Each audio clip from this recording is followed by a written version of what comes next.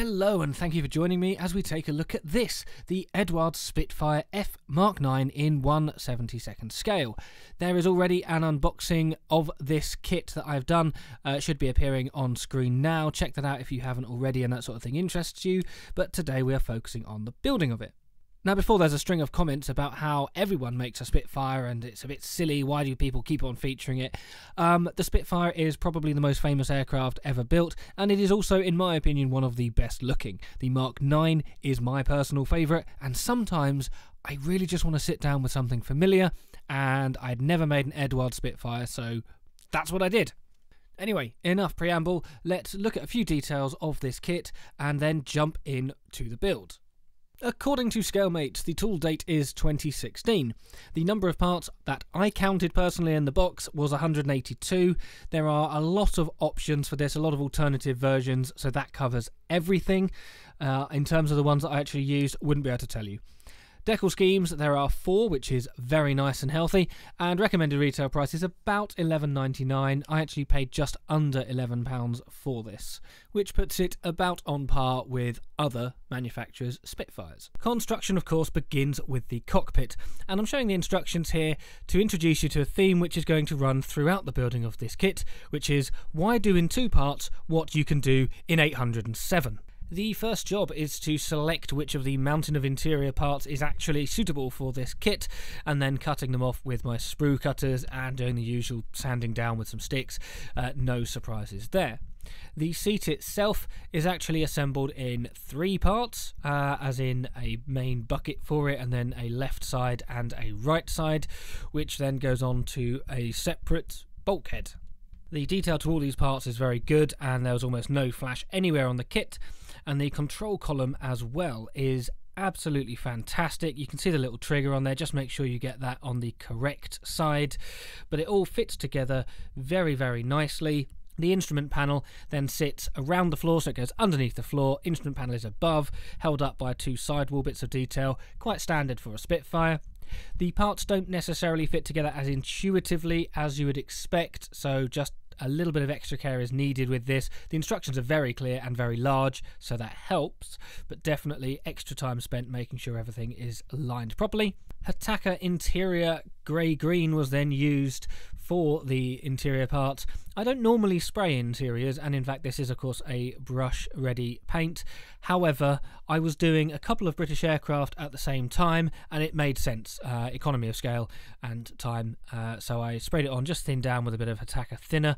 This paint is my standard for anything RAF, so no surprises there. And then Vallejo Black was used to pick out some of the interior detail. There is quite a lot of interior detail to this kit, and that's before even considering the Eduard etch sets that they offer to improve it. And one feature that I quite like is two instrument panels. One here on the left has moulded raised details that I've just dry brushed in silver, and the other is flat, which is there for a decal. Now I did both, partly as a comparison and partly to see which one I preferred. I often like painting them if the surface is quite raised, whereas here it's so small that I think it's actually better to use the one with the decal, which is ultimately what I'm going to do. But it's a nice way of comparing the two by, by doing that anyway. Seatbelts are provided in decal form as well. I'm not the biggest fan of these, and these are also much, much bigger than they need to be. However, they supplied them, I'm going to use them. Yes, here we go, another comparison of the instrument panels. Let me know which one you prefer and which one you would generally go for. I am genuinely interested. I switch between the two depending on the model. The uh, the cockpit is uh, cemented into uh, side wall details, so some kits will have the fuselage uh, interiors as detailed, and others will have this kind of bucket system. Eduard have gone for the bucket system, and it looks, in my opinion, very, very nice, as hopefully you will see soon. And whilst this bit was a bit fiddly, as I mentioned earlier, I found it a lot easier to do when not paying attention to where it was in shot. So sometimes I will do dry runs like this uh, on camera where I'm trying to get the thing to fit, uh, just to give you an idea, uh, and then I'll actually glue it off camera. Now, there are two holes that need to be drilled on the starboard side of the fuselage. These are very, very small holes, at first, I wasn't entirely sure what they were going to be for, but we'll see later. do make sure if the instructions tell you to drill out holes that you do it because it's a lot easier to do it from the inside than to try and work it out from the outside. And then once again, as is standard for my interiors, I gave everything a wash of some Citadel's uh, Basilicanum Grey or whatever it's called.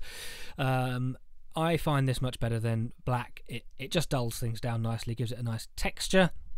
The interior detail is more or less done here, and I hope you agree that it looks rather nice. So much so, in fact, that at this stage I decided to do it with the cockpit open, as you will already have seen in the thumbnail and the introduction shots, but that was very much decided on the fly based on how good I thought the detail was.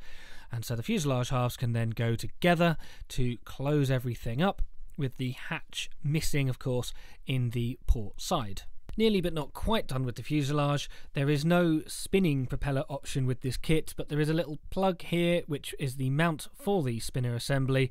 That has to be glued in. It's marked for the correct or indented for the correct way up and you've also got the little joins there for the wing to the fuselage so having now spent more time than i'd ever spent before on a 172nd spitfire interior we move on to spending more time than i've ever spent before on the wings of a 172nd spitfire so we have to build the entire wheel well detail. You've got a sort of wing spar type thing at the front, and then you've got separate pieces for each of the wheel wells before the top wing can finally be glued on. Thankfully, the fit is absolutely fine, so there's no issues with doing it this way, although it does feel a little unnecessary. But then, I guess making a scale model is a hobby and you're getting more parts for your money, maybe? Should we look at it that way? The nose section as well has a variety of different options in the kit. So once I have chosen the ones which are supposedly correct for this variant, uh, we've got the port side and now the starboard side before going on to another first for me in a 172nd Spitfire, which is manually gluing in this little spar rib thing here behind the pilot's head. That's usually part of the moulding of the canopy, but Eduard, nope, they've decided that should be separate, so separate it is. Finally, then, we are moving towards sticking the fuselage to the wings, and it's at this point where I feel the plane really starts taking shape. And of course, it should be no surprise to find out now that there are alternate wingtips available with this kit. Uh, that does make sense. I'd rather alternate wingtips than have to cut bits off from clipped wings to add uh, rounded tips and things like that. But of course, I'm not going for the pointy ones and I'm not going for the clipped ones. We're going for the more conventional elliptical wingtips, and separate ailerons are included as well. And this is the only time where I found there was a potential fit issue. Now, I'm saying potential because it is entirely possible that it was entirely of my own doing.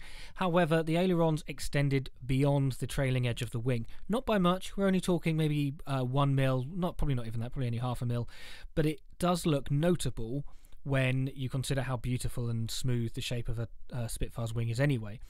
The solution that I came up with was originally trying to file the uh, the space down. That didn't really work. It probably would have taken a while. So I've actually got the ailerons with a slight turn on them. So one of them is up, one of them is down. So it's slightly, as you can see here, slightly angled, and I find that that already breaks the shape enough that you don't notice it's about half a millimeter out. So a little sort of again adjustment on the fly based on what I was experiencing. I suppose what I should have done is then go into the cockpit and move the control stick a little bit to one side to uh, to demonstrate that as well. But hey, I couldn't be bothered.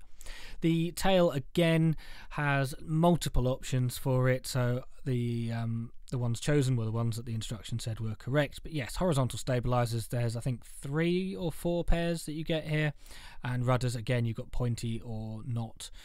Uh, the tail wheel can then be glued in, as can the underneath of the nose. Again, being sure to select the correct one. So on this particular aircraft, of course, it is the non-tropical filter. They do give you a tropical filter version as well radiators, and of course, this is not a simple part either. You have a left and right to each of the port and starboard radiators, you have a front and back which goes inside, and you have a top as well. Then, of course, you have the adjustable outlet at the back as well. I, I don't know what it is, but you have that separately. These holes that we drilled earlier, remember them? Well, there's this tiny little intake for whatever um, that goes on to the side. So there we go. That's what it was for. So small, very easily could have been missed. We then have the engine oil filler cap, which again is a separate piece rather than being moulded like almost every other manufacturer would have done, and the mount for the radio antenna as well which puts more or less the only thing left to do being the gun barrels. Now, this has two 20mm cannon, but there are, of course, mounts for four. Sometimes they're on the inbound, sometimes the outbound. So they give you these tiny little plugs to go in the ones that are not mounting guns, and uh, the actual barrels for the ones that are. Like that. The entire aircraft was then primed in Tamiya Fine Grey Primer. There was only a tiny bit of filler needed, hardly anything, and then this Hataka Medium Sea Grey could be airbrushed onto the underside. Of course, this is frightfully tedious to watch because I'm spraying grey on a slightly different shade of grey, so don't worry, we'll move on quickly. I do think the real aircraft were painted in standard RAF colours and were then sprayed on uh, in the field, I think uh, at least with the top colour, which is this, which is the dark Mediterranean blue. This is part of a Vallejo set for desert schemes. It shows you a lovely Spitfire down there, but that is a Mark V with a sky underside, and this set does not come with medium sea grey, hence why I used the Hataka one. Whilst easy to spray on, I'm not necessarily happy with the colour. I will talk about that later on, however.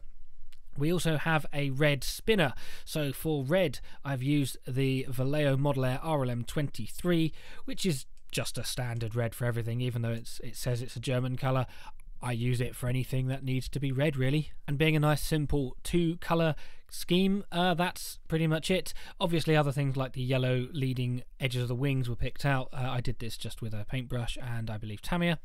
Uh, everything was then gloss varnished, and it's time for the decals. Now, there is a separate sheet here for just the stencils, and I tried putting a couple on, and they are black on a very dark blue, and you can't see them. And if they were sprayed in the field anyway, would they have just sprayed over them? Would they have re put them on? Unsure, but as you can't see them, I didn't bother. And you'll even notice here with the registration, which goes on, they too are black and are also very difficult to see. I think the blue's a bit dark. Now, I, I don't know that. I don't know this scheme well enough, but it's certainly darker than it was on the box. So maybe it's right, maybe it isn't. Either way, it got me out of spending a lot of time doing stencils. These decals were just put on in the standard way, so a little bit of water, microset and microsol. However, it is possible that these are the decals with the peelable film, and I say possible because the instructions do not mention it at all. They seem to have a lot more film than normal, but if the instructions don't tell me to do something different, I'm not going to do something different. And I think the end result is fine. But if anyone's going to ask, are these those new Eduard decals? Honestly, I couldn't tell you. After the decals, it is of course time to varnish. This time matte varnish. You can see this very, very battered bottle. This is the first ever Vallejo paint that I've exhausted, and at this point there was only a few dregs left in it, but hey, it lasted. That was just sprayed on liberally over every surface to make sure that the paint and decals were all protected. The main landing gear was of course moulded in one piece. Oh wait, no it wasn't. We have a separate hub for left and right, and we have two halves of the tyre and then the leg. So you've got to glue the tyres together first.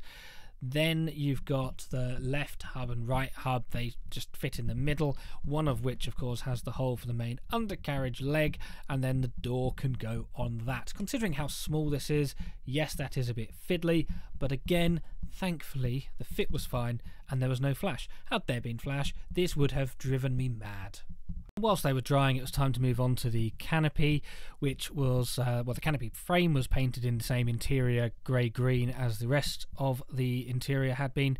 And the downside of using airbrush thinned paints is that I then had to brush paint the blue on. I say had to, I wasn't going to mask it, was I? I wasn't going to buy a masking set for an £11 kit. Not going to happen. So just had to do several coats very finely with this smallest paintbrush that I have of the blue, but it also gives me an opportunity to touch up a few bits that could do with it, as well as things like the radio antenna mast just behind the pilot. Oh, you can also see that the mount is mahogany, so I just painted that a dark brown colour.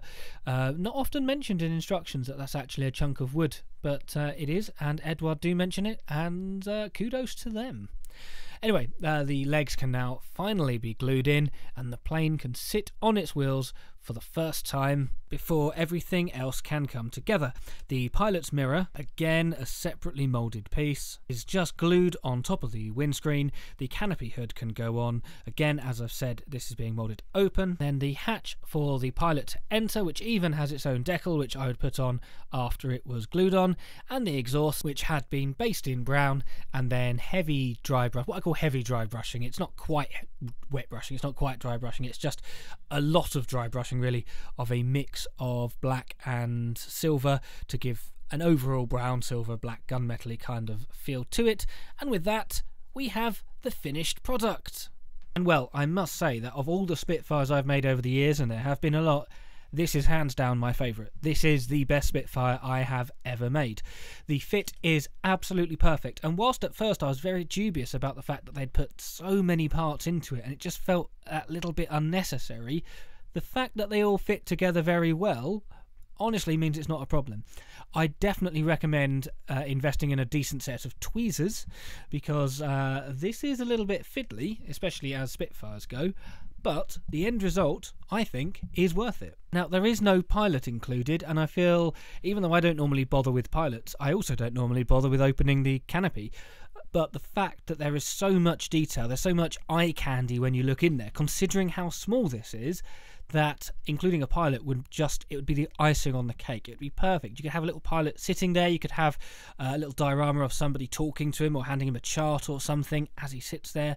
I honestly, it's uh, the only thing that I can fault this kit on when you consider the end result. Even the fact that the propeller blade doesn't spin Usually it's something that I like in a kit because if you accidentally knock it, you don't break it.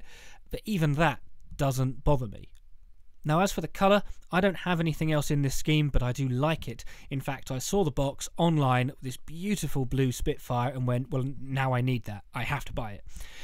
And I wasn't expecting it to be this dark, but I'm no expert in the colour, so that's just my own personal opinion, as it probably would look a bit better if it was lighter.